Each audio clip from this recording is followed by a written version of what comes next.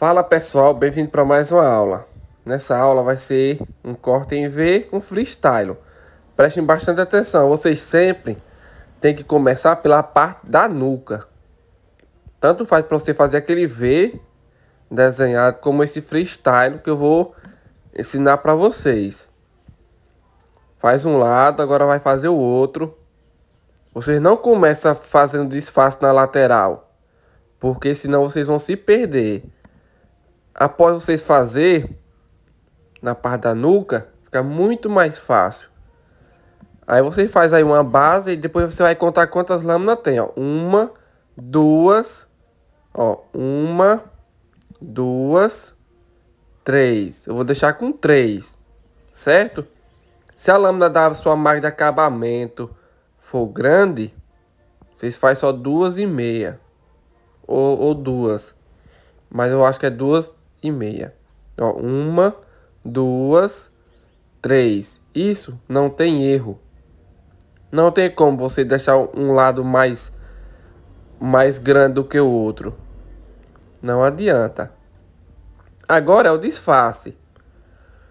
Agora eu vou com minha zero baixa, unindo com a máquina de acabamento. Ao contrário. Lembrando que esse corte só combina ele navalhado. Se vocês for fazer esse corte na zero, não combina. Não fica bonito igual navalhado. Zero baixa. É, na largura padrão, que eu gosto de deixar a um dedo. Próximo passo, mais acabamento. Ela normal. Olha, ó, tirando para fora. Unindo com a zero baixa. Eu passei a zero baixa, alavanca toda para cima. Na largura de um dedo, você pode unir, ó a marcação com aquela marca de acabamento, com essa aí. Eu passei ao contrário para marcar o V, porque eu vou tirar com a gilete bem no pezinho onde eu marquei.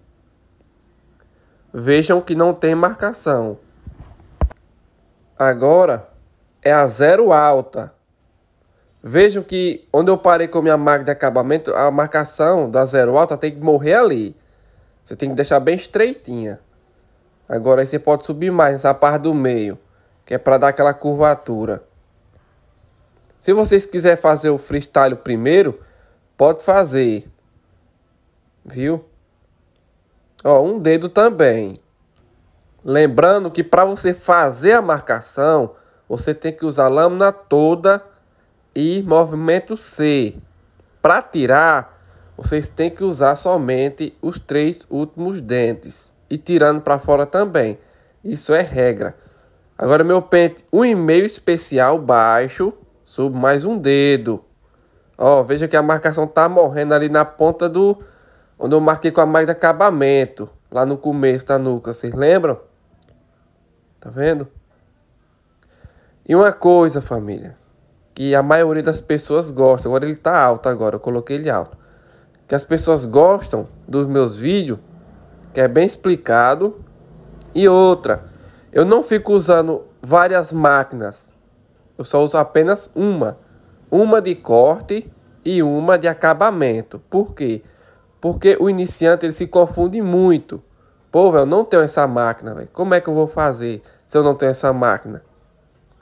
Agora o pente meio. Depois eu explico mais sobre isso. O pente meio, você usa só as costas do pente. Você pode usar metade da, da lâmina, tirando para fora, unindo com o pente um e-mail especial. Se vocês precisar voltar com o pente um, um e-mail especial, vocês ficam à vontade. Agora é na metade. Vocês sempre começam com ele alto, tirando para fora. Unindo com o pente um e-mail especial. Agora é na metade. Vocês colocam na metade e por último, ele todo, todo baixo. Alavanca para cima. Veja que eu coloquei ele baixo agora, só em cima da linha. Tá vendo? Porque ele faz o papel, o pente meio baixo faz o papel da zero alta. Ele é zero alta. Olha. Agora eu coloquei ele alto e venho batendo só o bico.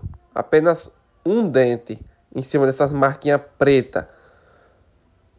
Só que eu vou voltar com o peito em meio especial. Agora. Porque eu vi que ainda dá para dar mais uma melhorada. Então, voltar aos pentes não é errado. Ele tá baixo. Pulindo bem. E o cabelo dele, ele é assim mesmo, tipo, é um pouco, um pouco assanhado. Que é um tipo de um cabelo crespo. Vocês podem passar qualquer máquina aí. Tipo, ele gosta de passar quatro alta. No vídeo, eu não vou mostrar passando a máquina. Para não ficar muito longo. Porque a parte do freestyle eu, eu gosto de explicar bem explicado. Não vai ficar muito longo o vídeo. Mas eu garanto a vocês que se vocês passar o pente 4 e o pente 4 alto a 5, não vai ficar marca de nada. É só passar, molhar e pentear, fica do mesmo jeito tá aí. Não interfere em nada. Agora intermediária. O que é intermediária? É na metade. Entre a zero alta e a zero baixa. Os três últimos dentes. Olha. Estica a pele do cliente. Tá vendo? Ele alto de novo, a zero alta de novo. Nessas, nesses pontilhados pretinho. Se você fizer um degradê e não ficar alternando a alavanca, não vai ficar bom. Lembrando que eu estou explicando os movimentos que vocês têm que fazer e as alavancas, viu? Ó, metade. Baixo. Só em cima da linha. Ali embaixo tem que ser só em cima da linha. Agora tem os três últimos dentes. Vocês têm que gravar isso. Tem que decorar isso. Não saiam do vídeo porque a parte do freestyle que vai fazer toda a diferença no corte. Agora eu venho com minha tesoura de corte mesmo, normal. Vocês podem usar a tesoura dentada. Mas é só uma imperfeiçãozinha que ficou, pouca. Ó, só mesmo no degrau. Você não mexe na lateral, pelo amor de Deus. É só onde precisa. Onde precisa você tem que passar mesmo. Galera, se inscreve no canal, porque com esse vídeo... É, já é uns 72 vídeos já no meu canal. E todas as aulas bem explicadas, tops. É, vídeo de todos os cortes que tem, ó. Vamos lá, mas explicar mais uma vez. Ó. Uma, duas, três. Pronto. Se você tiver dificuldade, você risca. Até onde você vai passar o... Até onde você vai parar o V, ó. Uma, duas, três. Tá vendo? Não tem erro. Pega essa explicação. Aí, ó. Se vocês antes quiser fazer um V e quiser marcar aí, ó. Pronto. Onde tem que ficar o bico do V. Agora eu vou fazer o freestyle. Aparentemente, dá a impressão que é o V, né? O V é dessa forma também. Aí era só fazer o outro lado, até lá onde eu risquei com lápis. Até onde o bico do V ou o bico do freestyle vai ficar. Tá vendo? Deixe seu like. Se você estiver gostando, deixe seu like para ajudar mais pessoas. Para para esse vídeo ser mais recomendado. Clica aí no like, não custa nada, não paga nada, é de graça. E para se inscrever também é de graça. E também quem ganha é vocês. Aí vocês puxam a perna para cima. Vocês vai como se estiver fazendo V. Depois puxa a perna para cima. Qualquer coisa. Vocês que é iniciante. Vocês risca antes. Aí, ó, eu já sei onde, onde eu tenho que parar. Pronto. Eu sei, eu sei que eu não posso passar daquele lugar. Porque se eu passar, vai ficar diferente. Aí eu defino a parte de essa parte aí para baixo do freestyle, essa parte preta, tem que estar tá na altura mais ou menos da 1,5 especial para baixo. E dá, dá um alta para cima, tipo assim. Dessa forma, porque se você passar um a um baixa, vai ficar mostrando o couro, não vai ficar pretinho não. Vai ficar mostrando a cor da pele. Olha, vem só definindo por dentro. Com cautela. Então, vocês que é iniciante aí, a maioria que assiste meus vídeos é iniciante. Vocês viram que eu só utilizo um tipo de máquina. Uma máquina de acabamento, que é essa aí que eu tô na mão. E uma de corte. Porque quando eu era iniciante, eu ficava vendo os vídeos, aí os caras ficavam só trocando de máquina. Pegava uma com fio, depois outra sem fio de corte. Pegava uma, uma, uma, é balde, balde, aquela, aquela que tira bem tirada. E isso confunde muito o iniciante. Demais, demais mesmo. Aí eu, por isso que eu utilizo todos os meus vídeos, todos. Eu nunca utilizo mais que uma máquina. Nem uma máquina, nem a mais, uma máquina de corte, nem uma de acabamento. Uso, uso duas. Porque tem que ser as duas. A de acabamento e a de corte. Agora eu venho definindo com a gilete. A máquina de acabamento é só um rascunho. O que vai definir mesmo é a gilete. Tá vendo? Com cautela, deixando fininho, esticando a pele, porque faz toda a diferença você esticar a pele para cima e passar, você ter um apoio. Olha, se vocês fizessem passo a passo, vocês não erram não. No começo é bom vocês marcar com lápis. E o melhor vocês fazer primeiro, esse freestyle aí. Vocês façam primeiro. Depois vocês fazem o disfarce. Ou tanto faz. Por que eu deixei por último e eu não fiz primeiro? Porque não dá diferença. Fazendo o disfarce primeiro ou depois. Porque às vezes você está pensando que vai dar diferença. Vocês estão pensando que eu estou confundindo vocês, mas não. Eu garanto que não dá diferença. Viu? Porque até onde eu parei com a marca de acabamento ao contrário, eu fico uma marcação muito forte. Então é ali onde eu parei que eu tenho que parar o disfarce. Certo? E qualquer coisa, qualquer dúvida que vocês tiver, pode me chamar no Instagram. Pode me chamar lá que eu respondo todos, todos vocês. Agora aí vocês têm que passar tipo no pezinho mesmo do, do, do freestyle. Bem no pezinho. Tem clientes que faz o degradê na zero. Aí quer fazer esse tipo de corte. Tanto faz o V, aquele V do Neymar da Copa, né? e esse aí, ou outros. Só que não combina. Vocês têm que falar, ó, não combina. Ou é navalhado, ou não vai ficar com qualidade. Vocês têm que falar logo o cliente quando você está na cadeira. Porque só combina, só destaca com o navalhado. Não adianta. Agora eu passo o shave para me retirar essa parte aí com a gilete, né? Essa parte aí é boa de fazer porque vocês não se preocupam com marca de gilete.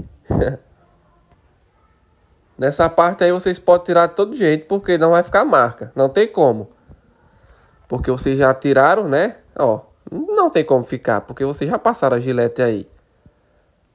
Já a parte do disfarce, não. Vocês têm que vir com a lâmina deitada e a mão bem leve. No começo. Depois vocês podem passar normal. Ele tem um cabelo muito, muito grosso. Cabelo dele é bem grosso mesmo. É um dos cabelos que tem aqui mais que é bem pesado aqui na minha barbearia. É bem pesado. A gilete pode estar nova como for. É bem pesado. Agora essa outra parte, depois é o disfarce. Tá vendo como o freestyle ficou? Nós vou dar uma ajustada ainda nele. Para ficar o melhor possível. Eu sou assim, perfeccionista.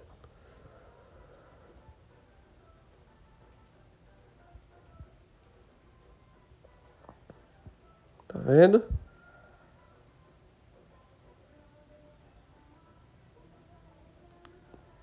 Pode vir tirando de qualquer jeito essa parte aí. Agora eu vou explicar a parte do, da lateral. Vocês passam o shave. Bem passado. Aí se vocês passar a lâmina deitada e a mão leve, já era. Fica marca não. Mesmo passando a gilete, o cabelo dele ainda fica tipo uns detalhes preto. Aí eu vou passar shave. Mas quem vai passar só gilete, tá pronto. Certo? Vocês só vão pentear o cabelo do cliente. Se ele não for baixar em cima, você passa gilete com, com pente. Para tirar esses arrepiados. E quem for passar uma, uma 3, 4, 5, não interfere. Interfere não. Porque você subiu com o pente um e-mail especial até lá em cima. Agora eu vou tirando essas marquinhas que ficou. Essa partinha é um pouquinho chata. Mas é besteira. Vocês viram que o disfarce morre quase na ponta do bico ali, mais ou menos? Então não tem erro. De jeito nenhum. Olhando dos dois lados, pensa que é o V, né? Mas olhando da nuca é o freestyle. Agora eu venho com a shave. A shave você tem que passar com movimento C aí não. Aí não precisa movimento C não. Essa parte aí. Desse corte aí, do freestyle. Ou, ou V. Mas se for um disfarce, tem que tirar para fora, igual na lateral. A mão leve para não irritar a pele. Se você fizer só na, na gilete, já tá pronto. Já tá 100%. E outra coisa que eu já ia esquecendo, que eu, sei que alguns de vocês estão com, com dúvida. E o outro lado? O outro lado é a mesma coisa. Do mesmo jeitinho que vocês fizeram esse lado é o outro. Acabou. Não tem segredo. Eu garanto a vocês. Não interfere. Do mesmo jeito que vocês fizeram essa parte aí. É, o disfarce morrendo na ponta aí do, do freestyle, do V. Vocês fazem outro lado também. Vocês não podem invadir muito a parte da nuca com... Senão vai ficar um corte seta. Aí vocês, se vocês invadir menos essa parte aí do bico, fica estranho também. Tem que ser na, na medida. O certo mesmo, que não tem jeito, é estudar. É estudar e praticar. Já era. Já era mesmo. Olha como fica lisinho a pele. Destaca mais.